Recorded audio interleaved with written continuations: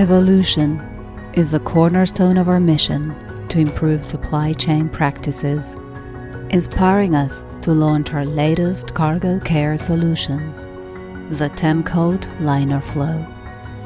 This innovation focuses on the intricate relationship between temperature fluctuations and condensation damage, while recognizing the importance of a breathable shipping environment.